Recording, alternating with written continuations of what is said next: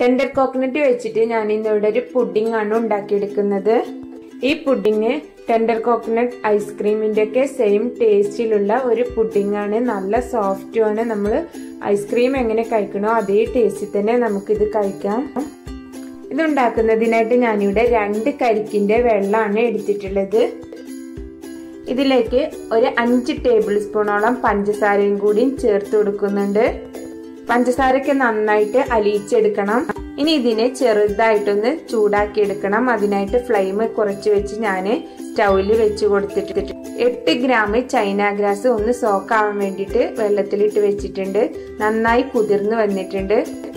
ഇനി ഇതിനെ നന്നായിട്ടൊന്ന് മെൽറ്റ് ചെയ്തെടുക്കണം. ചൈന ഗ്രാസ് ഒക്കെ ഇപ്പൊ നന്നായിട്ട് മെൽറ്റായി വന്നിട്ടുണ്ട്. ഇപ്പൊ ചൂടാവാനായിട്ട് വെച്ചിട്ടുള്ള ഇളനീർ വെള്ളമൊക്കെ നന്നായിട്ടൊന്ന് ചൂടായി വന്നിട്ടുണ്ട്.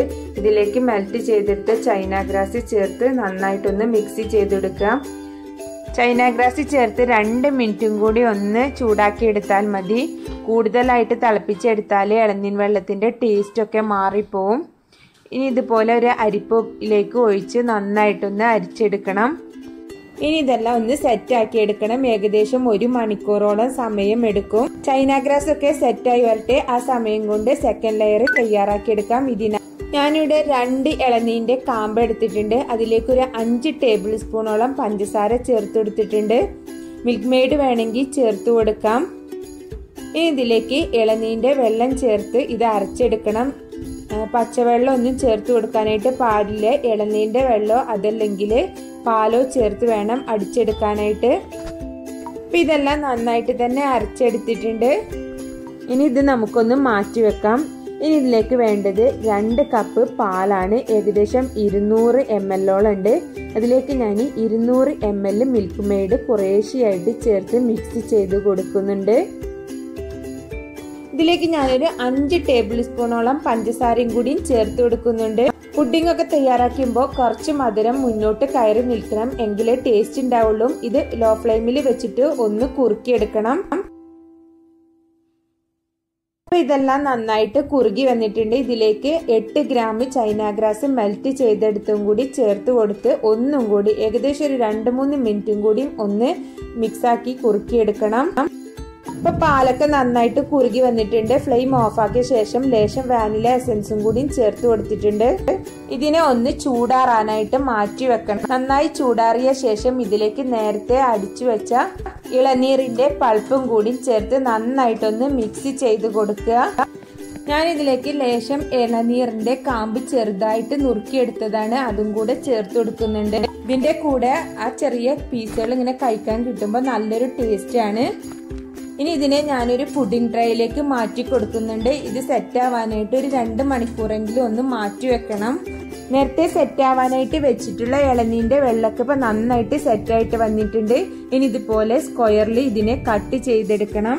അപ്പൊ ഞാൻ ഇതെല്ലാം ഇതുപോലെ കട്ട് ചെയ്തെടുത്തിട്ടുണ്ട്. ചൈന ഗ്രാസ് ചേർത്തത് കൊണ്ട് തന്നെ നമുക്ക് പെട്ടെന്ന് ട്രേയിൽ നിന്നൊക്കെ ഇളകി വരും. ചൈന ഗ്രാസ് ചേർത്തിട്ട് നമ്മൾ എന്ത് ഉണ്ടാക്കി എടുക്കുകയാണെങ്കിലും ഏത് ഷേപ്പാണോ നമ്മൾ കട്ട് ചെയ്യാൻ ഉദ്ദേശിച്ചത്. അതേപോലെ നമുക്ക് കട്ട് ചെയ്തെടുക്കാം. ജലാറ്റിൻ ചേർത്താണ് ഉണ്ടാക്കിയെടുക്കുന്നെങ്കിൽ ഇതുപോലെ കട്ട് ചെയ്തെടുക്കാൻ പറ്റില്ല. നമ്മൾ തയ്യാറാക്കി വെച്ച പാലിന്റെയും ഇളനീന്റെ ഒക്കെ മിക്സ് ഇപ്പോൾ ഒരു മുക്കാൽ ഭാഗത്തോളം സെറ്റായിട്ട് വന്നിട്ടുണ്ട്. നേരത്തെ കട്ട് ചെയ്തെടുത്ത ഇളനീർ വെള്ളത്തിന്റെ ഈ പീസുകൾ ഇതിന്റെ മുകളിൽ വെച്ചു കൊടുക്കുക. മുഴുവൻ ഭാഗവും കവർ ചെയ്യുന്ന വിധത്തിൽ വേണം വെച്ചു കൊടുക്കാനായിട്ട്. ചെറുതായിട്ടൊന്ന് അമർത്തി കൊടുക്കുകയും വേണം. ജെല്ലി പോലെ തോന്നിട്ട കഴിക്കാൻ നല്ല ടേസ്റ്റാണ് പെട്ടെന്നൊന്നും മനസ്സിലാവില്ല. ഇത് ഇളനീന്റെ വെള്ളം വെച്ചിട്ടാണ് ഉണ്ടാക്കിയതെന്ന്. അത്രക്കും ടേസ്റ്റ് ആയിട്ട് അത് രണ്ടും കൂടി മിക്സ് ചെയ്ത് കഴിക്കുമ്പോൾ ഒരു പ്രത്യേക ടേസ്റ്റ് ആണ്.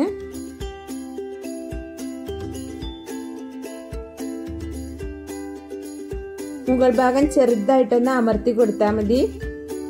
ഇപ്പൊ ഞാൻ ഇതെല്ലാം ഇതിന്റെ മുകളിൽ വെച്ച് കൊടുത്തിട്ടുണ്ട്. ഇനി ഒന്നും കൂടി ഇതിനെ ഒന്ന് തണുപ്പിച്ചെടുക്കണം. ഇതൊന്നും കൂടി സെറ്റ് ആവാനുണ്ട്. ഞാനൊരു മുക്കാൽ ഭാഗത്തോളം മാത്രമേ സെറ്റാക്കി എടുത്തിട്ടുള്ളൂ. വീണ്ടും ഒരു മണിക്കൂറെങ്കിലും ഒന്നും കൂടി ഫ്രിഡ്ജിൽ വെച്ച് കൊടുക്കണം.